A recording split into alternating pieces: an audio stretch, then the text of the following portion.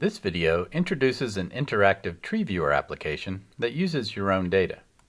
It can generate printable vector images as PDFs, and you can embed the viewer into web pages.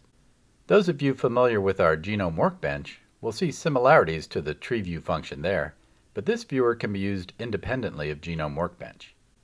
I'll first demonstrate some of the basic functions of the tree viewer, then show you where you can find the API and documentation.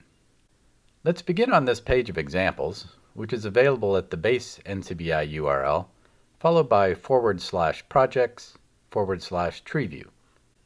You could start by uploading your own data using the upload button on this page, but I'll begin with this rectangular cladogram example. You can use the slider to zoom in and out, or the plus and minus icons for more fine zoom control. And to scroll to a different part of the tree, click and drag with your mouse. When you mouse over a node, you get a common set of options, and you see parameters that you've applied to this node, such as color. If you want to view your tree in a different layout, choose Tools, Layout. I'll change mine to Circular Tree. A very handy feature is the Overview mode. Click this magnifying glass icon, and a thin rectangle outlines the region that you are viewing. Click again to return to the previous view. Also in Tools, you can save your tree in a few formats, including a PDF file. I'll choose PDF file, then click Create PDF file.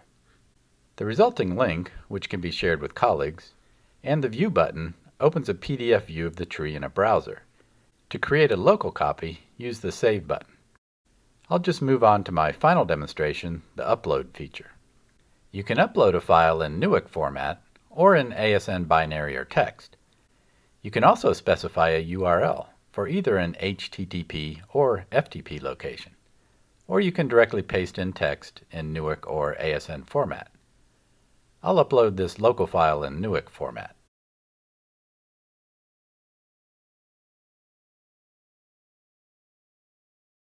Okay, to get to the tree viewer documentation, use either of these question mark icons to go to the viewer's homepage and here under the table of contents, you'll find the information you need to get started.